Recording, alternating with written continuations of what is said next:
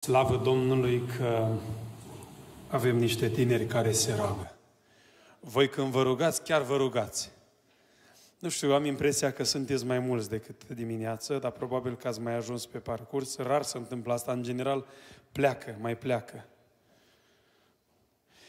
Dragilor, m-am dus într-o biserică, am slujit și ne-am dus acasă să mâncăm. Și am mâncat, zice fata aia, fetița avea vreo patru ani. N-ați mâncat? Am zis, da, am mâncat.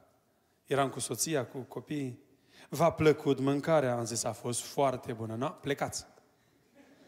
Și a trebuit să ne ridicăm, să plecăm, dar chiar atunci, dar au fost foarte drăguțe. Uh, prima parte, v-a plăcut mâncarea? Mai stați. Prima parte a fost, uh, a răscolit puțin unele lucruri, unele amintiri. Această a doua parte trebuie să se îmbine, să pună capac și să ajungem la o concluzie. Pași spre vindecare. Scopul lui Dumnezeu. Spunea fratele Iosif Anca la un moment dat așa. Zice, prea aspru a fost predicatorul, că m-am simțit jignit într-o situație sau alta. Și a zis, ok, te duci la medic și zice medicul, ai metastază. N-am întâlnit un pacient să spună, mă jignești, domn doctor, te dau în judecată. Cum adică îmi spui mie că ai imediat, te duci, cauți tratament, cauți să repari, să rezolvi. Ce zice medicul e sfânt. Vii în biserică, și zice Dumnezeu, ai păcat în viața ta. Trebuie să te schimbi. Și zice, a, m-am simțit jignit, mă. Aș vrea să fim foarte atenți. O diagnoză clară nu înseamnă confort. În momentul în care vine Dumnezeu, venim, venim în fața scannerului cuvântului lui Dumnezeu și suntem confruntați cu adevărul, s-ar putea un pic să ne fie ca un duș rece dar e cale spre vindecare. Diagnostic clar, tratament corespunzător și vine vindecare. Pași spre vindecare. Primul pas, sunt patru pași pe care eu am pus aici, ei pot fi mai mulți, dar în modul în care, uh, uh, uh, viziunea pe care eu am și cum înțeleg eu. Recunoașterea. Să recunosc că am o problemă. Iubitul, ești cam nervos în ultima perioadă. Nu e adevărat. Recunoaște, da, într-adevăr, sunt cam nervos. Eu săptămâna trecută am fost cam nervos. Am fost mai agitat pe fondul oboselii și îmi trimite soția un uh, clip azi dimineață, efectele antibioticelor asupra stării de spirit general a omului. Eu numai ce eram în plin proces, am terminat 5 zile de antibiotice, și uh, gata, am găsit explicații. Ai văzut că eu am dreptate, că eram pe antibiotice. N-am știut că antibioticele pot, pot să dea și depresie. Îți responsabile 70% pentru depresie. Zici, nu știu ce are tata, mă, mă, nimeni nu se mai înțelege cu el. E cumva pe vreun tratament? Dacă, de exemplu, are diabet, nu vă puteți imagina cât de irascibil este un om bolnav care are diabet. Măi, mama e agitată, e frământată. Mama ta are cumva 45-50 de ani, este în perioada premenopauză și menopauză? Ai citit despre comportamentul unei mame care ajunge la menopauză? Că 10 femei în aceeași femeie în aceeași zi? A, dar nu m-am gândit la asta. Nu mă aveam reproșuri împotriva lui mama, că nu mă înțelege, că nu e aproape de mine. Dar tu o înțelegi pe ea, tu îl înțelegi pe tatăl tău. Dragilor, și cât am fost tânăr și mai târziu, am mai participat și eu la conferințe unde mi-am luat notițe. Și mi se pare că predicile, parcă și seminarele merg așa în direcția asta de triumfalistă, moralicească, m-aș bucura să fim și raționali, să înțelegem cum funcționează lucrurile în familie, să înțelegem, ia că să înțelegem noi pe părinți. De ce nu?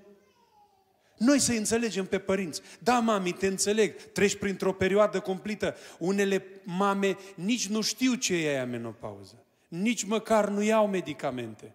Nu iau anumite suplimente de vitamină să le regleze hormonal și sunt foarte nervoase. Iată că nu-i satana în ea. Iată că nu-i nervoasă pe tine. Are o problemă, e o perioadă din viața ei, care îi poate fi mai periculoasă decât la adolescență. Dacă nu-i gestionată corect. Recunoașterea. Mă, am o problemă, măi. Da, într-adevăr, uite, am o problemă. Mă, tu nu mai cânți în ultima perioadă. Da, așa e. Dar avem tendința de a nega. Am văzut căile greșite, negarea. Mărturisirea, mă duc și îmi spun necazul. Domnule, zice David, psalmul 30, câtă vreme am tăcut. Mi se topeau oasele de gemetele mele necurmate. Și m-am dus la medic ortoped și a zis, ai osteoporoză. Și mi-a dat tratament de oase și am luat și mai rău. S-a depus mai mult calciu. Nu s-a rezolvat. Și zice, mi se usca vlaga, cum se usucă pământul de seceraverii. M-am dus la medicul imunolog și mi-a dat ceva de imunitate. Și tot nu mi-a trecut. Ci că e astenie de toamnă. Și nu mi-a trecut. Și m-am dus în templul Domnului. Și a venit prorocul Domnului și a spus, e păcat în viața ta, David. De-aia te doare. Și zice, atunci am zis, îmi voi mărturisi Domnului fără de legea și tu ai iertat vina păcatului meu. Păcatul poate să dea dureri fizice. Cui să-i mărturisești? Domnului. Nu trebuie să te duci neapărat la, la un slujitor să-i mărturisești, dar ai mărturisit odată Domnului de două ori, de trei ori, de 30 de ori. În cazul acesta ai nevoie de un slujitor, consilier, căruia să-i povestești drama ta, ai nevoie de rugăciune, ai nevoie de a te urmări o perioadă de timp. Băiete, cum stai cu problema aia? Să știi că nu te-am uitat, mă rog pentru tine. Ăsta este rolul păstorului în momentul în care ne mărturisim. Că unii dintre voi ați mai trimis pe alocuri întrebări și în felul acesta. Trebuie neapărat să ne mărturisim la un... Nu, i-a mărturisit Domnului păcatul. Dar dacă tot nu, nu scapi, înseamnă că e o legătură. Și acolo trebuie o rugăciune de eliberare. Împărtășirea realistă să duce Neemia, zice, am luat măgarul, care e vita care era sub mine, un măgăruș, pe lângă poarta gunoiului și izvorul balaurului, atâta de tare au săpat dușmanii, că nu mai era loc să treacă vita, copita la cal. Nu mai era loc să treacă. O trebuie să mă dau jos de pe măgar, să trec cu el de căpăstru, după aia iar m-am urcat pe el. Și când a venit înapoi a zis așa Neemia, uitați-vă când începe vindecarea. Vedeți starea nenorocită în care ne aflăm? Ierusalimul este dărmat, porțile sunt arse de foc, dușmanii râd de noi, își bat joc de noi. Asta este starea. Asta este realitatea pe care o vedem, pe care o trăim. Nu vei fi niciodată vindecat până nu recunoști starea în care te afli. Da, mă, în situația asta mă aflu, nu mă înțeleg cu tata, nu mă înțeleg cu mama. Da, într-adevăr, așa este. Și începe procesul tău de vindecare. Sinceritate, smerenie. Păi nu minți, mă. Dacă te întreabă cineva cum ești, spune-i clar. Măi, nu sunt bine. Frate, dacă tot m-ai întrebat, Domnul te-a pus să mă întreb. Uite, m-am certat cu nevasta, m-am certat cu soțul. M-am certat cu mama, nu mai vreau să mă duc acasă. M-am drogat, m-am îmbătat, am început din nou să fumez. Spune-i clar cum stau lucrurile. Nu-l minți. Că nu faci decât să amâni procesul de vindecare. Sau cel puțin începerea procesului de vindecare. Cu sinceritate, cu smerenie. Sunt oameni care se laudă cu păcatul. Spunea Paul Washer, generația noastră este atât de spurcată, nu doar că păcătuiește, să laudă cu păcatul. Pe el vine și spune, iar am băut o seară tequila, am băut un pahar de Jake Daniel. Păi bun, tu nu te lauzi, zi, nenorocitul de mine, iar a căzut și iar am făcut una sau alta, cu smerenie și, bineînțeles, o diagnoză clară. Vedeți starea nenorocită în care ne aflăm? De ce zic o diagnoză clară și profesională? Că s-ar putea starea ta să fie indusă. Să nu fie o problemă foarte mare. Să fie o problemă mică, dar satana ți-o accentuează în mintea ta atât de mare că ai impresia că e sfârșitul lumii. Și tu doar atâta că ai luat șapte la teză în loc să iei opt. Pentru un punct e sfârșitul lumii. Păi stai cu minte. Nu e bomba atomică punctul ăla.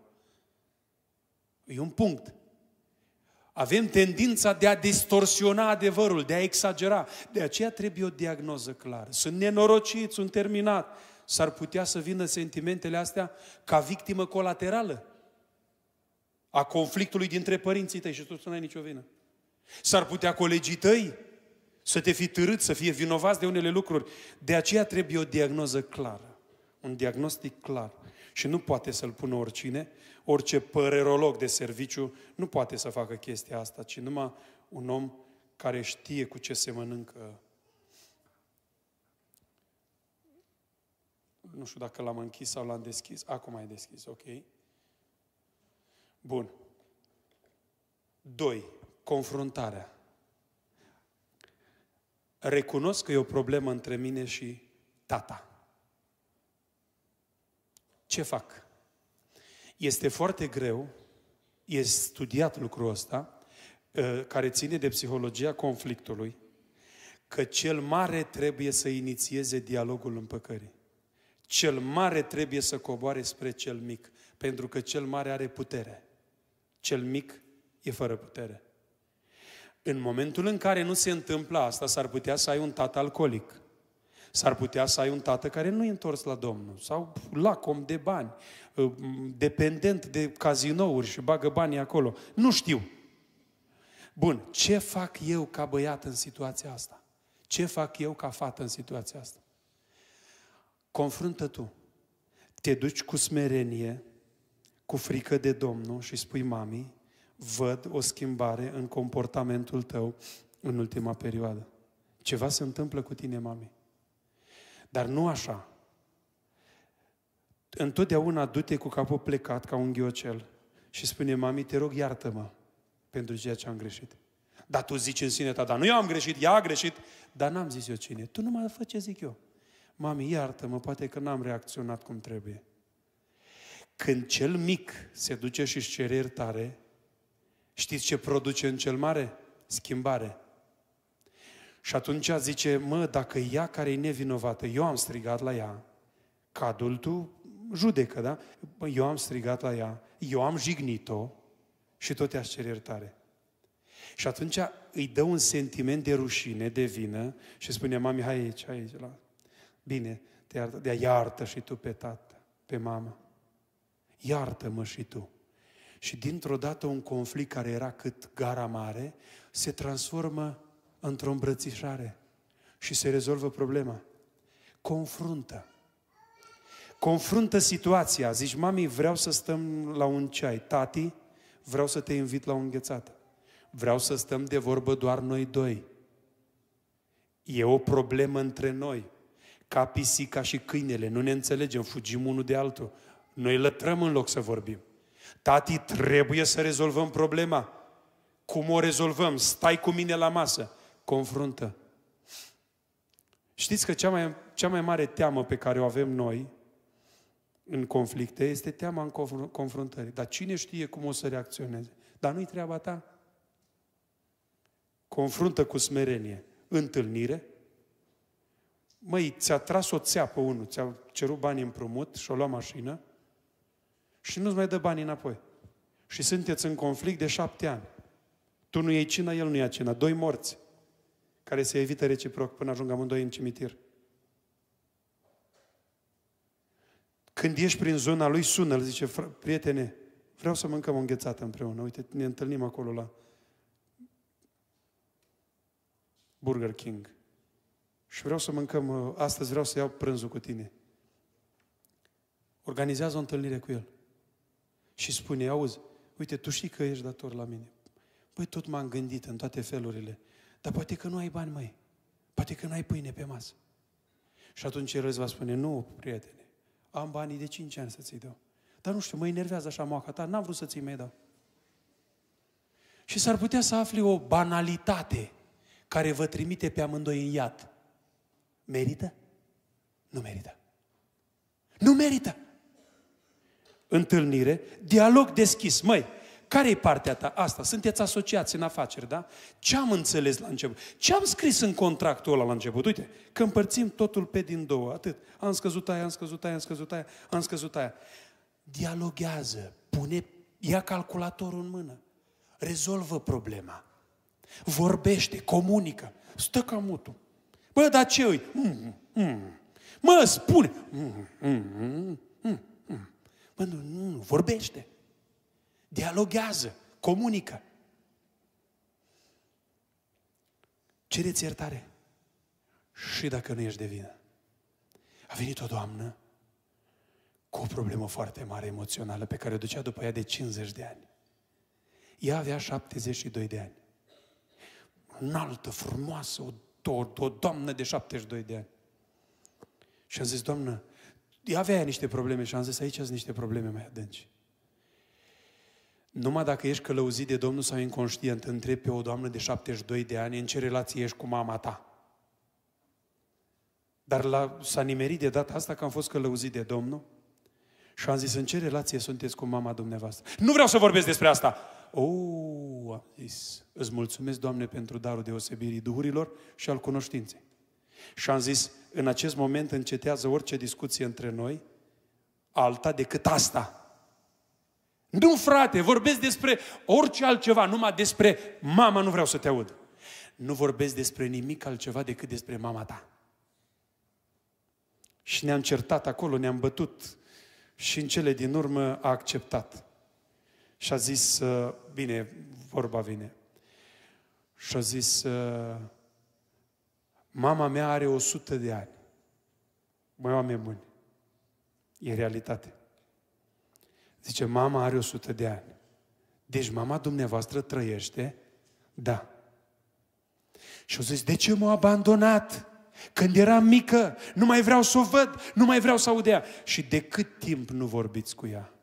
Și au zis, de 50 de ani. Jumătate de secol? Să stai cu cangrena cancerului neiertării în tine până ajunge în metastază? Dar dacă faci un atac cerebral și nu-și mai aduce aminte, dar dacă dai într-un Alzheimer, ce faci? Și ne-am rugat pentru ea. Nu pot să iert. În numele lui Isus Hristos să fie liberată de Duhul de neputință. Și ne-am rugat și ne-am rugat și ne-am rugat.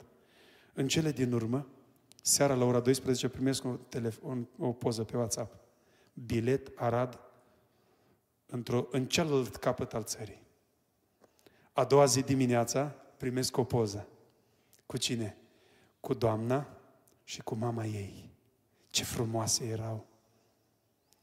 S-a dus acolo acasă, n-a mai găsit-o, s-a interesat de ea, era dusă undeva la azil.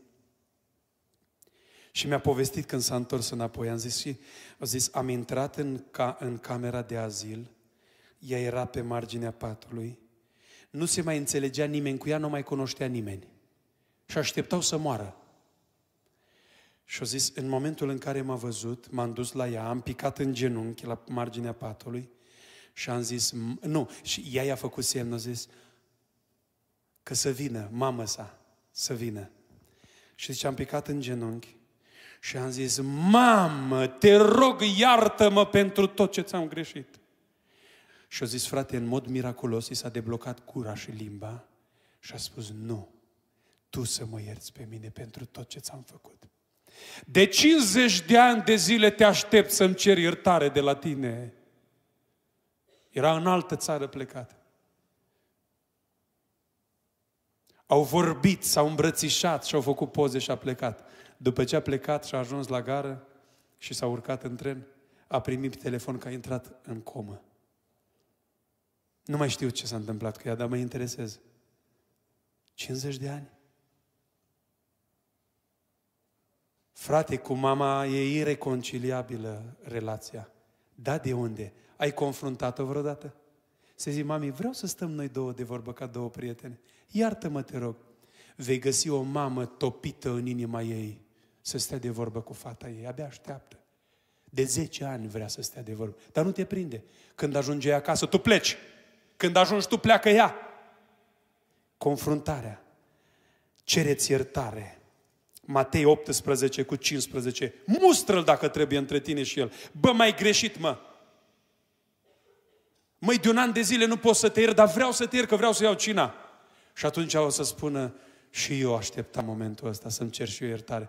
Și atât de ușor să rezolv o problemă. Atât de ușor. Geneza 3, 33 cu 1 la 6. Uitați-vă la frații lui Iosif.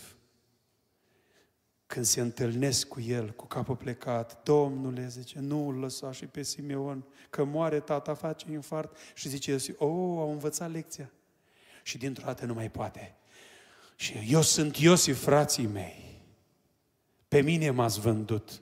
Voi ați vrut să-mi faceți rău și să mă omorâți, dar Dumnezeu a convertit răul în bine, că avea în vedere să vă salveze, mă, amărâților, mă. Vă iert, mă! Dar ca să ierte, a trebuit să-i pună numele unui copil Manase. Uitare. Îl chema iubitul, uitare, pentru că a zis el, vreau să uit necazurile tatălui meu. Vă dați seama că și Iosif a avut suferințe emoționale din copilărie. Gândiți-vă ce traumă să te arunce. Am văzut desenele animate când eram mic, cu el l-a aruncat într-o fântână și erau șerpi acolo. Într-o fântână părăsită, la 5 metri în pământ, 6 metri, în, acolo la ei, îi și mai adâncă, poate că avea și 10 metri fântâna aia. Și l-au aruncat în fântână, l-au scos, l-au vândut ca sclav. Gândiți-vă ce traume emoționale a, a traversat copilul acesta și a reușit să treacă peste toate, Dumnezeu l-a vindecat. S-ar putea prin căsătorie Dumnezeu să te vindece. Soțul tău să fie pansamentul inimii tale, soția ta să fie vindecarea ta. Dacă nu, copilul tău să fie. Și te uiți la copilul tău și ești și tu părinte și vezi cum se comportă un părinte și ce simte un părinte și vei zice, da mă, avea dreptate tata, mă, avea dreptate mama, mă, mă, câtă dreptate avea. 90% dintre reproșurile pe care le aveți la adresa părinților lor. Ascultați-mă bine ce vă spun și vorbim peste 10 ani. Peste 10 ani de zile, 90% dintre voi, la 90% dintre reproșurile care le aveți asupra părinților, veți zice ceea ce zic eu acum. Tata avea dreptate, avea dreptate mama.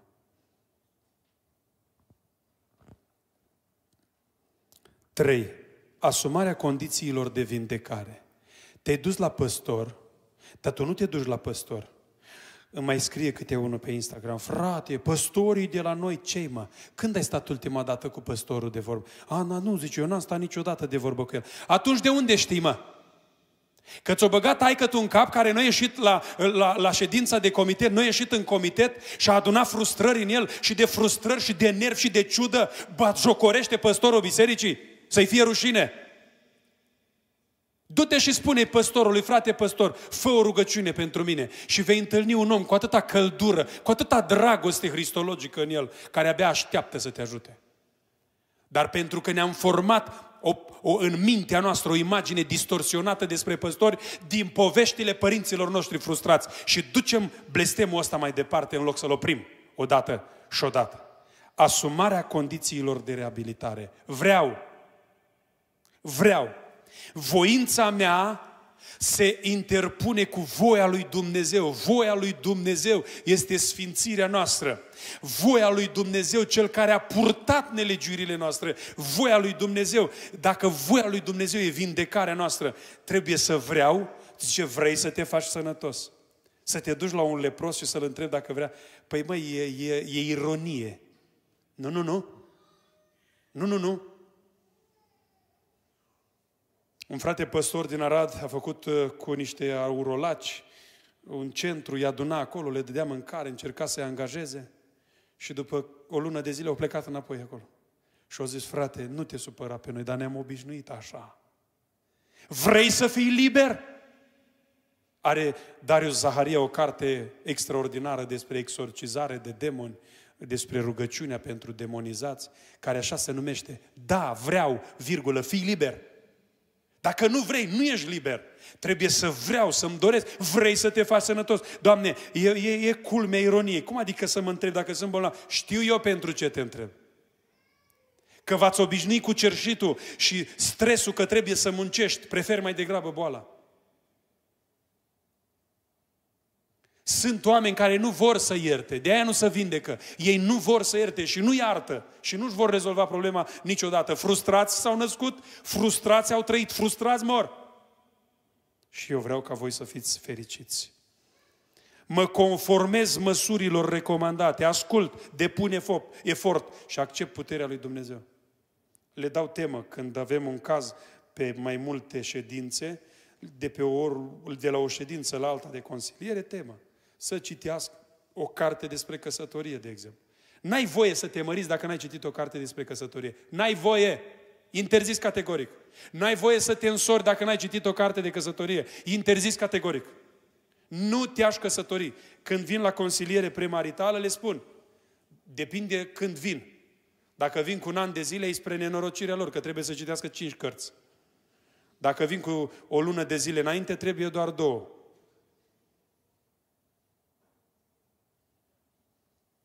Nu merge pe ideea infatuată, arogantă, că le știi pe toate. Nimic nu știi.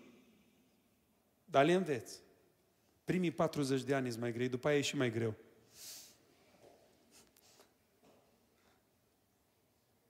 Patru. Dacă n-ar fi fost asta, plinătatea Duhului Sfânt care te vindecă de orice. Dragilor, am văzut câteva variante care trebuie luate în seamă. Analize, o vizită la un psiholog creștin, recomand creștin. Dacă nu e creștin, recomand cu moderație, dar să fie omul lui Dumnezeu. Dar e varianta variantelor spre vindecare. Când te umple Domnul cu Duhul Sfânt, te vindești de toate. Băi, exact ca ăla din Isaia, bețivanul ăla. Și m-au lovit, dar nu mă doare. Când se trezește, mai vreau rugăciune. Mai vreau Duh Sfânt. Pur și simplu, în momentul botezului cu Duhul Sfânt, eu cred că atunci am avut parte de cea mai puternică vindecare a lui Dumnezeu. Nu m-a mai interesat nimic. Și de atunci până în ziua de azi. Și dacă mă înjurați, mai e câte unul nervos. A venit la un moment dat unul, s-a terminat o slujire de evangelizare într-o biserică mare din România. Numai cât a venit la mine să mă bată. El credea că poate. Că de departe, nu știu cum a văzut, dacă când s-a apropiat și dintr-o dată și-a dat seama că nu poate. A intrat într-o panică, într-un atac de panică. Și am zis, frate, ia-te și du-te de unde ai venit. Până nu mă răzgândesc. Ai înțeles?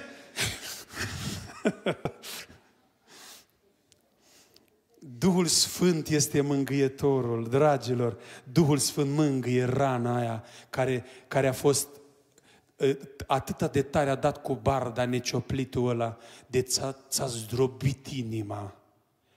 Îl rog pe Duhul Sfânt să mângâie în seara asta, să mângâie Duhul Sfânt, paracletosul, apărătorul de suferințe emoționale. Nu doar că te vindecă, dar îți dă anticorpi spirituali să reziști împotriva microbilor care vin și rana să nu se infecteze.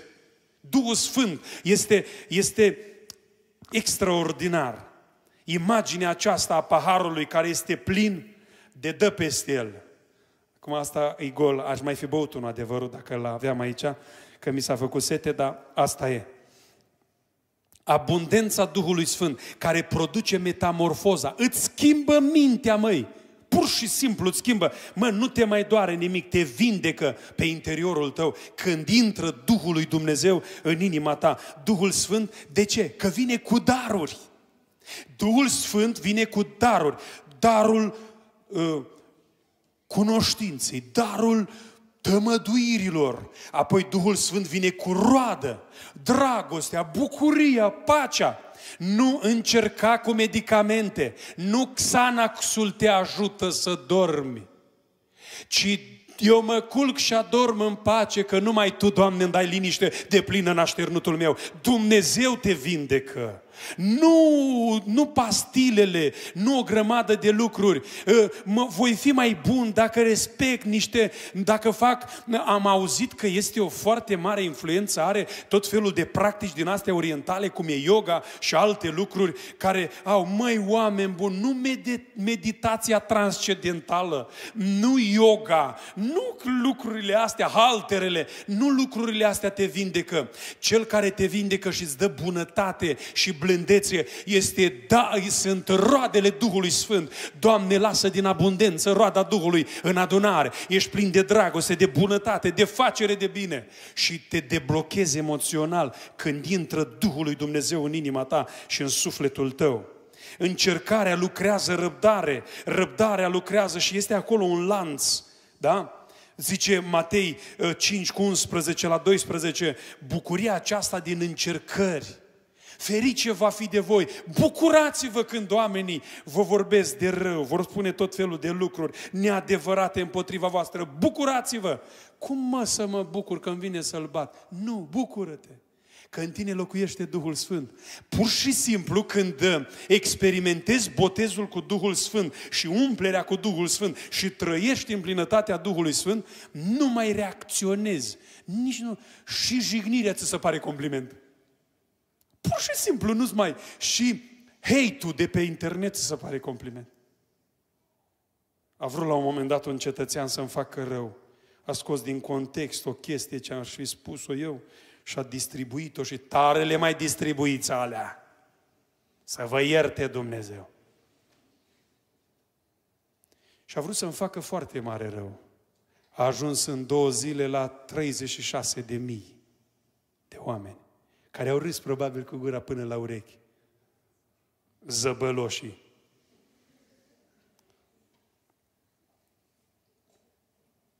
Și a vrut să-mi facă rău. Până la urmă m-a sunat, a fost sunat de păstor din țară, m-a sunat că nu mai poate să doarmă și a cerut iertare. Dar Dumnezeu a transformat răul acela în bine. Toate predicile de pe YouTube au crescut, s-au dublat. Toate invitațiile mele s-au dublat, că oamenii au dat aia și dar cine e ăsta? Și exact ca la Iosif, tot ce a vrut să facă rău s-a transformat în bine. Și oamenii când au dat au văzut că slujirea mea e una curată, că mă lupt să plac Domnului. Și nu m-am sunat oameni pe care nu i-am auzit în viața mea. Eu acum ar fi trebuit să fiu la Montreal, la o conferință de tineret. Acum nu știu pe cine iubește Dumnezeu mai mult, pe ei sau pe voi. Pe ei că n-am ajuns sau pe voi că am ajuns. Uh, și mi-a făcut bine nu mai reacționezi. Soția a fost un pic afectată. Da? Și bineînțeles, avem un studiu de caz și apoi facem o rugăciune. Dar până la studiu de caz, ă, concluziile, pentru că trebuie să avem niște concluzii. Prin rănile lui suntem tămăduiți. Dragilor, nu vom fi, nu am fost, suntem tămăduiți, slavă Domnului, prin rănile lui. Nu uitați de reperele faciale. Dragi băieți, între prietenii tăi, la un moment dat, unul dintre băieți, îl vezi mai abătut.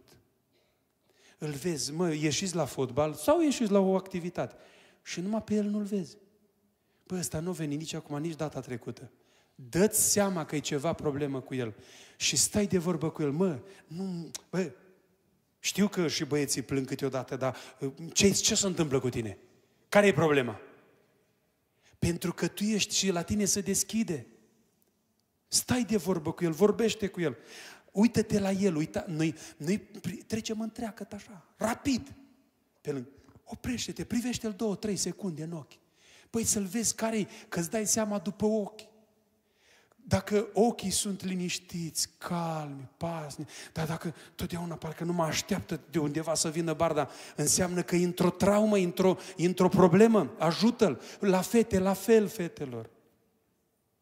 La fel, fiți mai sensibili, mai umani, mai atenți, fiecare dintre voi, nu caute doar folosul lui, și folosul altora. Și vă zic un secret, fetele și băieții pe care îi vedeți sufletul petrecerii, care îi vedeți că îi fac pe toți să râdă în centru atenției, sunt cei mai triști în privat. Și știu eu ce vorbesc. Că nimeni nu reușește să ne scoată din dramele noastre. Eu cele mai frumoase poezii le scriu, dacă nu am prin zonă sicrie, cimitir, ploaie, întuneric, ceață, nu iese poezia. Acolo am cea mai mare inspirație. Reperele faciale, cauzele suferințelor emoționale. Am văzut din trecut, pot fi multe. Riscurile, dacă nu le rezolvăm la timp.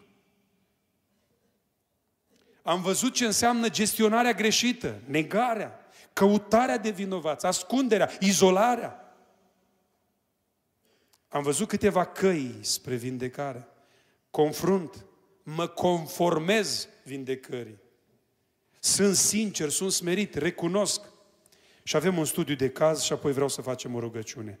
Și după această rugăciune să trecem la sesiunea de întrebări și răspunsuri. Care e mai puternic studiu de caz decât Domnul Isus Hristos. Ai fost batjocorit sau ești batjocorită de părinții tăi? Nu vei reuși niciodată să fii mai batjocorit ca Isus. Ca Domnul nostru Isus Hristos, Mântuitorul nostru și al sufletelor noastre. Cum arăta Domnul Isus Hristos? Așa de disprețuit, că ți întorceai fața de la El. Plin de sânge, în coastă vânăt, slab, transpirat, flămând, însetat, cu buzele uscate, în jurul frunții plin de sânge, răstignit. Îți întorceai fața, nu te puteai uita la el. Disprețuit și părăsit de oameni, om al durerii, era așa de disprețuit că ți întorceai fața de la noi. Care sunt cauzele suferințelor emoționale a lui Isus Hristos? Păcatele noastre. Măi, eu mă mai consolez cu asta când am o suferință, așa zic, da, sunt om, sunt carne, nimic bun nu locuiește în mine, mă ia gura pe dinainte, mai greșesc, da, merit. Și gata, m-am consultat, m-am consulat. Dar Domnul Iisus Hristos nu a păcătuit. Și a zis, mie mi se întâmplă lucrurile astea toate din dragoste pentru alții. Alții au păcătuit și eu sufăr. Apoi, cauzele, păcatele omenirii, riscurile. Au avut momente, depărtează de la mine paharul acesta. A avut momente, umanitatea Domnului Isus Hristos.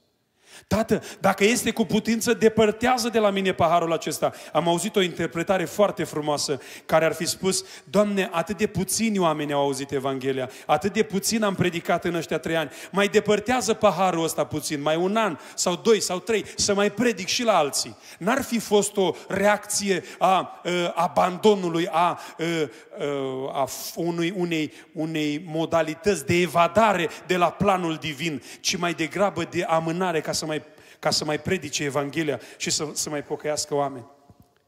Ești depresiv și anxios? Și Isus a trecut pe aici. Ce s-a supărat cineva pe mine când am zis că Domnul Isus a trecut prin depresie. Dar de ce n-ar fi trecut? Dacă zice că a suferit în tocmai ca și noi, dar fără păcat. Ispitit în tocmai ca și noi, dar fără păcat. Păi cum vă sună cuvintele acestea? Sufletul meu e cuprins de o întristare ca de moarte. Cum vă sună asta? Vă sună happy? Vă sună plin de zen? Plin de vibe? Nu. Ci din potrivă o atitudine depresivă. Haideți să vedem intensitatea suferinței Domnului Isus Hristos. Zice, se ruga, când se ruga rugăciunea din Ioan 17, ă, ă, transpirația, sudoarea de pe fruntea lui, pica pe piatră ca niște picături mari de sânge. Nu știm dacă era chiar sânge sau era ca niște picături de sânge. Asta nu știm. Dar atât de mare era intensitatea aceea, lupta aceea spirituală ca să câștige sufletele noastre, să ne răscumpere. Și care a fost vindecarea? Și asta este extraordinară. Consolarea cu voia suverană a lui Dumnezeu. În momentele astea, rugați-vă pentru mine. Un ceas n-ați putut să vegheați împreună cu mine. O, și în toate acestea lucruri. Depărtează paharul, facă-se. Și în cele din urmă, dar are un moment de liniște, tocmai tocmai pentru asta am venit. Facă-se, facă-se voia ta. Și în momentul ăla s-a vindecat, a venit. După cine ați venit? Îl căutăm pe Iisus din Nazaret.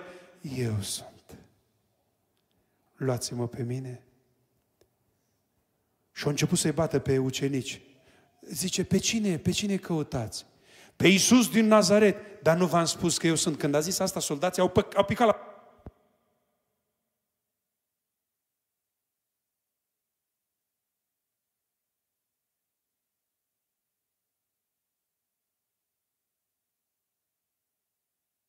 Și uh, zice, eu sunt.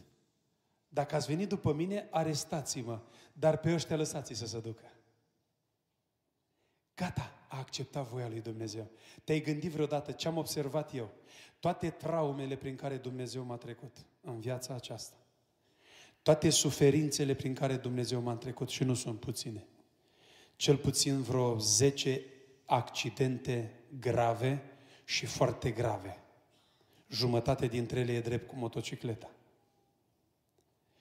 Să nu mai vorbesc de alte jigniri, de alte planuri malefice, lupte, frământări, probleme cu copiii, cu soția. Uh, la ultima naștere a făcut o tromboflebită groaznică. I-a zis doctorul, atâta minte a avut și el, era mai bătrân. Zice, puteți să muriți în orice moment. Și după ce a plecat, a zice, pregătiți-vă, pregătiți-vă de orice, că nu duce mult. Și m-am dus afară și am spus, nu mă interesează ce zice medicul, tu ești medicul suprem și eu vin înaintea ta și dacă mi-ai dat copiii aceștia, copiii aceștia trebuie să aibă mamă și au mamă și astăzi și Dumnezeu a vindecat-o. Dragilor, oamenii spun una, medicii spun una, dar cel care are ultimul cuvânt e Dumnezeu. De aceea, vă invit să ne ridicăm în picioare. Fete și băieți, Câți dintre voi sunteți botezați în apă? Mâna sus. Domnul să vă binecuvinteze. Lăsați mâna jos. Câți dintre voi nu sunteți botezați în apă? Domnul să vă binecuvinteze. O, sunt mulți aici. Dragilor, oare de ce am așteptat până când uh, ne mor părinții și să treacă încă vreo 20 de ani, așa cresc copacii? Pe cimitirul lor, ca să ne întoarcem la Domnul și să se bucure de noi în cer. Când am putea să le facem bucurie părinților, stau de vorbă cu părinți după tabere de tineret din străinătate, după conferințe și îmi trimit poză, că prieteni cu părinții lor, prieteni, cunoștințe mai apropiate și îmi trimit poze de la botezul copiilor lor. Mă întâlnesc cu ei majoritatea când îmi dau vestea, fie dacă a fost botezat cu Duhul Sfânt băiatul sau fata, sau s-a botezat, majoritatea îmi spun asta în lacrimi. Nu vă puteți imagina cât de mare poate să fie bucuria unui părinte când își vede copilul născut, crescut mare, dar născut din nou și botezat cu Duhul Sfânt. Nu vă puteți imagina. Eram la ultimul botez, băiatul nostru are 10 ani. Dar am văzut primele semne de naștere din nou. Și stătea lângă mine pe bancă și zice, tati, ă, aș vrea să fiu și eu acolo. Și am zis, ă, mai erau două, trei locuri pe primul rând libere. Și am zis, tati, dar poți să te duci. Eu m-am gândit că vrea să fie aproape de baptistier, să vadă și el. Nu, nu, tati, zice, acolo. Și am zis, îți place să cânți în cor, care e vocea lui mamă sa și cântă, eu când la telefon nu știu care îi. Am zis, dă-mi pe mamă ta. Iubitul zice, spune odată că eu sunt. Oh, ok, bun. Ia să mă asigur. Nu știu, au voce exact la fel. Și am zis, și a zis, nu, tati. Zice, vreau să fiu acolo în haine albe. Dragilor, mi s-a topit sufletul în mine. La 10 ani de zile băiatul ăsta a zis că vrea să fie în haine albe. Fetița avea patru ani de zile, anul trecut când veneam de la botez și veneam când am ajuns în Săbăteni și făceam dreapta spre Gheoroc, stânga spre Gheoroc, a zis, tati, eu când sunt mare, vreau să mă botezezi. Dar tu vreau să mă botezezi. Bine, fetița lui tati, și am zis, Doamne, îmi venea să urlu și să zic, te laud, Tata al cerului și al pământului, că ai ascuns aceste lucruri de cei înțelepți și pricepuți și le-ai descoperit pruncilor. Nu există bucurie mai mare. Vom face o rugăciune. Vom face o rugăciune înaintea lui Dumnezeu, dar aș vrea să vă întreb.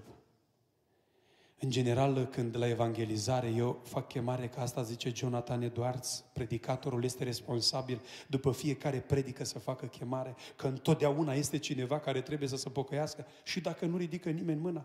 Dacă de 100 de ori fac chemare și de 99 de ori nu ridică nimeni mâna și a suta oară un singur om ridică mâna, a meritat să fac chemare de 99 de ori.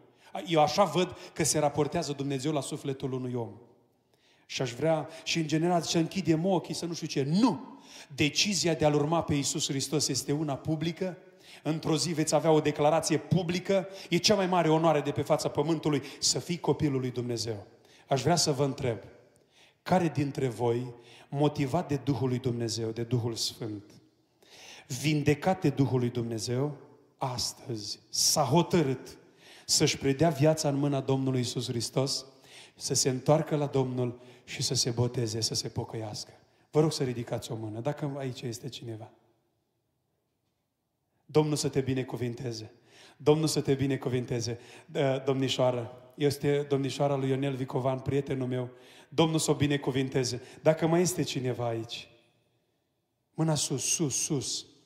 Mă voi ruga pentru voi. Dacă la balcon este cineva care s-a hotărât să-și predea viața în mâna lui Isus Hristos, mă voi ruga pentru voi. Dacă în partea aceea de la balcon este cineva, E Domnul care cheamă, e Dumnezeu care așteaptă, sunt lacrimile părinților voștri care așteaptă. Dacă în partea asta este cineva, mâna sus, cu îndrăzneală, că Dumnezeu așteaptă. Dacă aici este cineva care vrea să se pocăiască. Știți câți ani am avut când m-am hotărât Domnul să te binecuvinteze? Elisaveta. Știți câți ani am avut când m-am, când m-am hotărât pentru Domnul? 12 ani. Eram în Casa de Cultură din Bacău. A venit fratele lui Gimițoi cu misiunea Speranța. A predicat Evanghelia și a zis, dacă este cineva. Și am ridicat mâna și am venit în față și s-a rugat pentru mine. E adevărat că m-am botezat la 16 ani. Dar Domnul a luat act de nașterea mea din nou și de întoarcerea mea la Dumnezeu. La 12 ani de zile. Nu zice că ești prea tânăr. Aș vrea să mai întreb o dată și apoi mă voi ruga. Dacă este cineva în locul acesta, dacă mai este pe lângă cele două fete, care s-a hotărât să-și predea viața în mâna lui Isus Hristos, mâna sus, sus, cu îndrăzneală, cu credință, înaintea lui Dumnezeu. Știți ce înseamnă harul lui Dumnezeu? Eu ridic mâna, reclama aceea de la Nokia, aia veche, și Dumnezeu întinde mâna și mă prinde de mână. Asta se întâmplă când îmi predau viața în mâna lui Isus Hristos. Aș vrea să mai văd mâini ridicate, oameni care și-au predat viața în mâna lui Isus Hristos. Dumnezeu să vă binecuvinteze. Dragilor, aș vrea să fac o rugăciune. În rugăciunea aceasta vă rog să Haideți să stăm în închinare, haideți să stăm, uh, acum să stăm într-o atitudine meditativă, putem să stăm cu ochii închiși, să ne gândim înaintea Domnului. Dragilor, Dumnezeu v-a vorbit astăzi multora dintre voi. S-ar putea să vă gândiți și acolo în privatul vostru să fi fost răscolite multe amintiri. Eu vreau să mă rog și dacă veniți 10 și dacă veniți 20, vreau să mă rog pentru fiecare în parte. Dacă sunteți în locul acesta și credeți și doriți să fiți vindecați emoțional de orice traumă, Iisus Hristos este Domnul. Viu este Domnul care aduce vindecare, biruință și binecuvântare celui ce crede, celui ce îndrăznește. Dacă ești în locul acesta și simți că nu mai poți să duci lupta și simți că ți greu și te apasă atât de tare povara părinților tăi că nu mai poți duce. Te aștept să vii aici în față să ne rugăm pentru tine. Se va face loc pentru toți cei care vor ieși în față.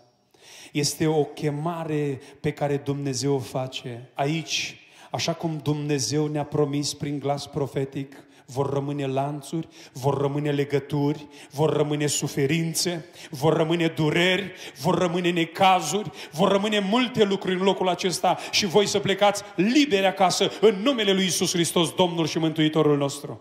Dacă ești aici și ai nevoie de rugăciune, te aștept să ne rugăm și să mă rog pentru tine. Îndrăznește, îndrăznește E Dumnezeu din cer, sunt multe suferințe. O, acolo în privat. Dumnezeu vede în privat și vede multe lacrimi. Unii dintre voi sunteți în pragul disperării, unii dintre voi nu mai știți ce să credeți. Inclusiv duh de ateism a venit la mintea și la urechea voastră și vă șoptește că nu există Dumnezeu și să vă împotriviți și să vă războiți împotriva lui Dumnezeu. Aici este Domnul oștirilor, Dumnezeul cel tare și puternic. Aici este Domnul Isus Hristos și Duhul Sfânt care mișcă, care umblă, care dă viață dacă simți nevoia aceasta și vrei să ne rugăm pentru tine și vrei să fii liber și crezi că Dumnezeu te eliberează, noi nu avem forță. Noi nu avem nicio putere, noi suntem oameni slabi. Cel care are puterea e Dumnezeu. Toată puterea i-a fost dată în cer și pe pământ. Îndrăzniți, a spus Iisus Hristos, eu am biruit lumea și voi veți fi biruitori prin mine. Și s-ar putea să duci de ani de zile după tine o suferință. S-ar putea să duci de ani de zile după tine o traumă, un necaz, o amărăciune, o durere, o legătură, poate chiar un blestem, poate chiar un viciu. Aici este Domnul oștirilor cel tare și puternic, care aduce eliberare și binecuvântare. Dacă vrei specific să ne rugăm pentru tine, te așteptăm să vii în față. Dacă nu, eu mă voi ruga. Mă voi ruga la general pentru voi. Mă voi ruga, dar și rugăciunea va fi și efectul va fi tot așa la general. Dar uh, las la călăuzirea voastră. Las la călăuzirea voastră. Eu mă voi ruga. Dacă în timpul acesta Dumnezeu te cercetează și vrei să mă rog pentru tine și vrei să ne rugăm împreună cu slujitorii pentru tine, te așteptăm și Domnul din cer să reverse biruință și binecuvântare.